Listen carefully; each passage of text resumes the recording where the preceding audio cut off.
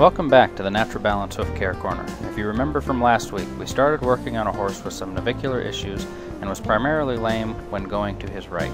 We'll pick right back up with the shoe application and reevaluation of how he's moving. Okay, we're going to use an aluminum shoe on him because we want this toe to wear out as rapidly as we can, as it can, just to help with this treatment process. And this is the shoe that I believe we're going to use. It fits well to the back of the central sulcus and the breakover point is there. Remember the line that I drew? That's where we want that breakover. Doesn't really, once we've got the foot dressed, everything, that's not a whole lot that needs to be set back. The, the distance from the apex of the frog to this inside edge is about a quarter of an inch, which is consistent with our normal uh, measurements. Okay, there's the line that we've drawn. It's about the same distance, an inch away. This is a size smaller shoe. Okay, and this is the fallacy, and this is the very thing that keeps a lot of farriers from individualizing each foot, is because this so the tendency is is to put the same size shoe on each foot, when in fact this foot is smaller, and because the, they wanted to, the tendency is is to if you have a number one shoe or an aught shoe on that side to make an aught. In order for this one to fit a bigger size, you have to push it forward. And then you destroy your pastern angle, so then you end up leaving a lot of heel. So that's the scenario that causes a lot of these horses to end up in this situation. So by using the size shoe that's fitted for this foot, we're able to find these ratios, balance them out, and suit this foot just as efficiently as we're able to suit that other one. So about a quarter of an inch from the inside edge. There's the breakover point right underneath the mark that I've drawn, ahead of the apex of the frog about an inch and an eighth. So in our instruction tape it goes into all these details very specifically, but for the moment I'm going to tell you how this pad functions in relationship to the shoe. You'll see a small line that's been embossed into the pad right here and that's to align which to fit that shoe too.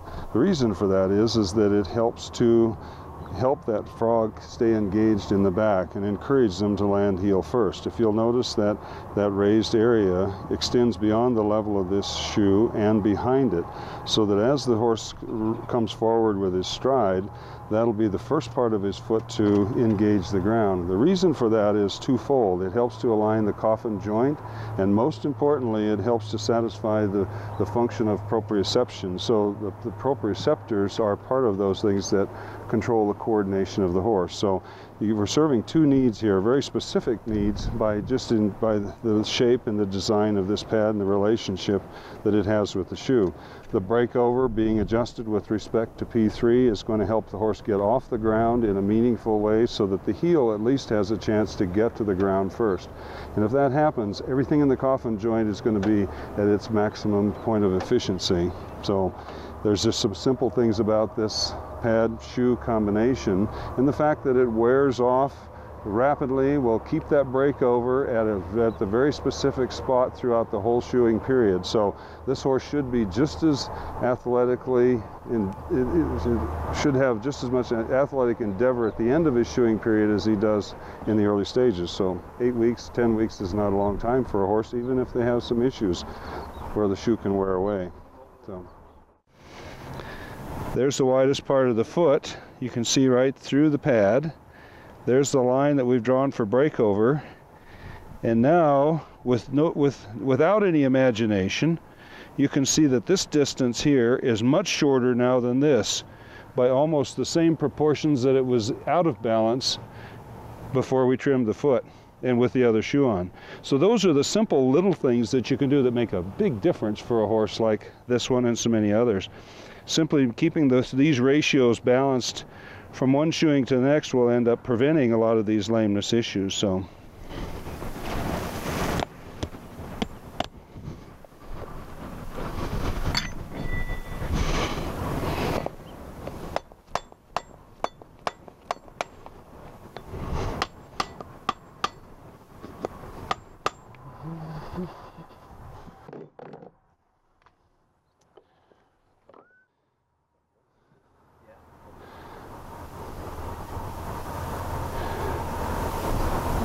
Okay, we're back. Now we're just to finish this off in a normal fashion.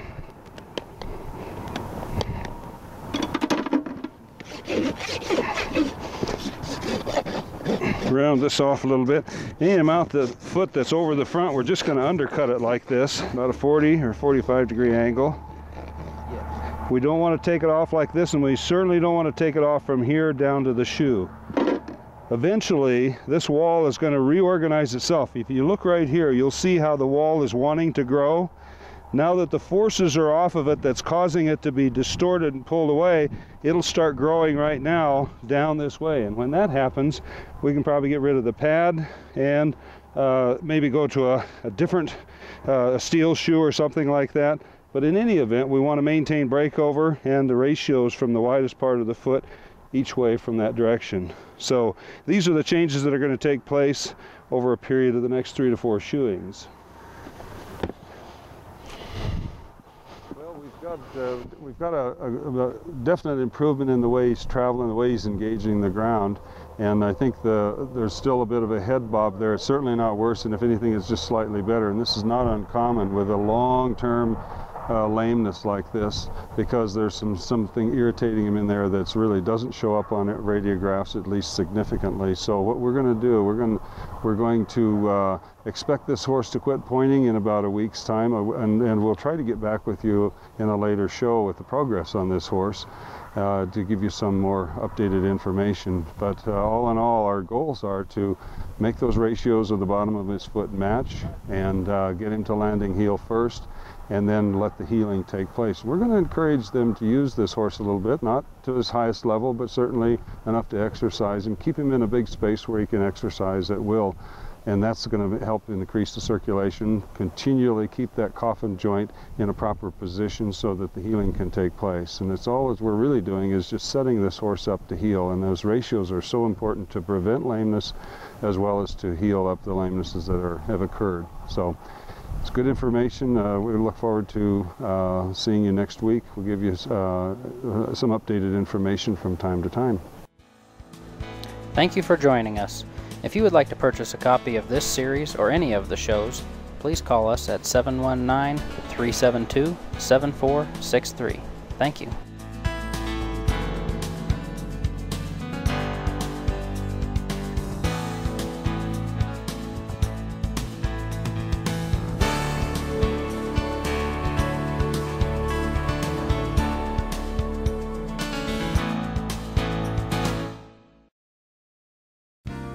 Natural balance principles and guidelines for hoof care are tools that farriers can use on a daily basis that are complementary to good conventional trimming and shoeing practices.